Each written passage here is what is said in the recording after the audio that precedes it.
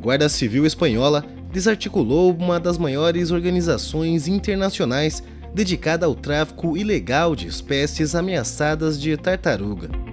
Três pessoas foram detidas na Operação Coahuila, uma referência ao nome científico da tartaruga de caixa, a primeira espécie encontrada na investigação e considerada em altíssimo risco de extinção.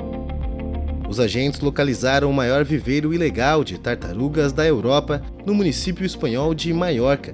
Descobriram também a colaboração com uma loja de animais exóticos em Barcelona. Foram resgatados 750 ovos e mais de 1.100 exemplares de 62 espécies de tartaruga, entre elas 14 que são consideradas em risco de extinção. O tráfico ilegal de espécies de fauna e flora representa uma das principais ameaças para a conservação da biodiversidade.